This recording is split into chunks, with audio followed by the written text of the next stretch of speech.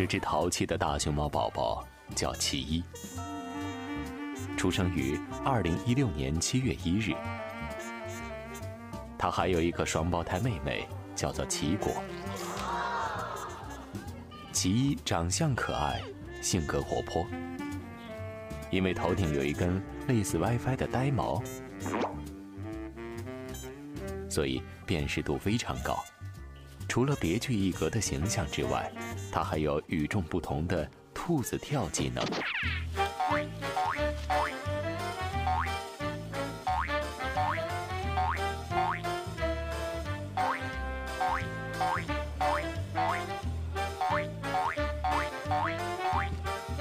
因此，奇一从小就是成都大熊猫繁育研究基地的代言熊。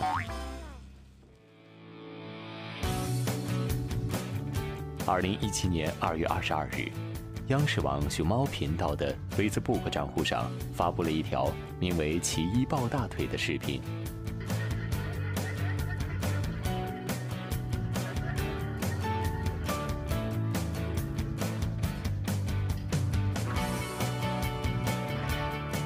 视频发布之后，瞬间点燃了海外网友们的关注热潮。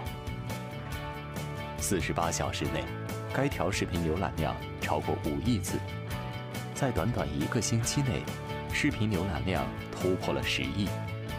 不仅如此，这条视频还被国内外超过五十五家主流媒体报道转载，一股全球熊猫热因此如火如荼地拉开了序幕。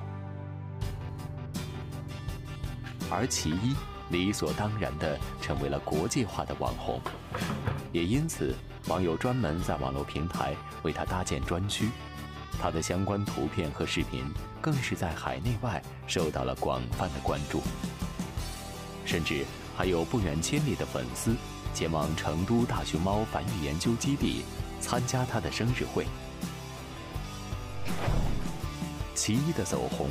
不仅将大熊猫们憨态可掬的形象向全球的民众进行了生动的展现，同时也体现了它们在地球上长达八百万年生存历史的魅力。通过“奇一抱大腿”这条视频，大熊猫受到海内外网友的关注与喜爱。